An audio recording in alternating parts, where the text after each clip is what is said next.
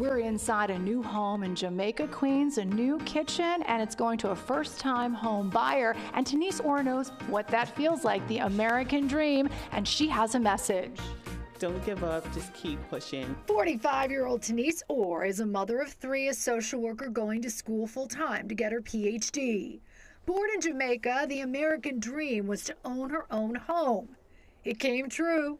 This is Orr the day she moved into her new Fort Greene two family home. Oh, it feels so great. It's it's totally different from apartment living because now we have a backyard. Living paycheck to paycheck, paying rent at NYCHA's Tompkins houses. That dream felt out of reach until January of 2023 when she got an email from the city. She won a city housing lottery. Did you call anyone? Did you scream? What did you... I, I cried. She's one of 61 New York City families who are first time home buyers who were selected through a program called the Small Homes Rehab NYCHA Program.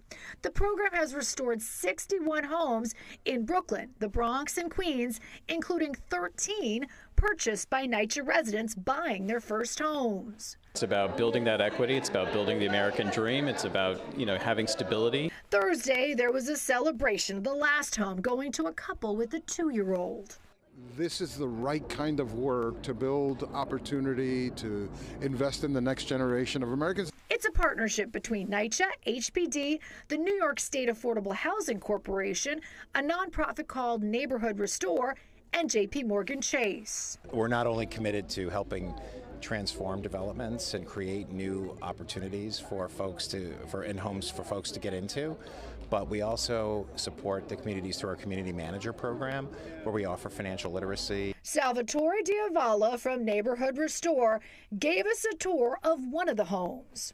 Monica, this is one of the two bedrooms in this house.